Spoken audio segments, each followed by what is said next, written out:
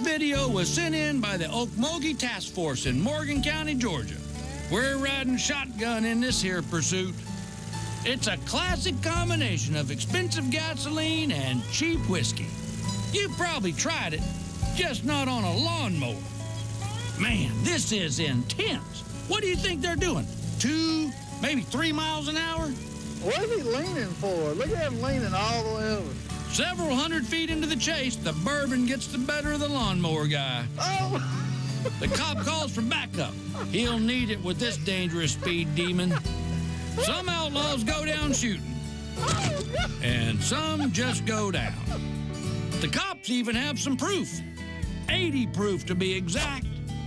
So, what have we learned? Don't drink and drive.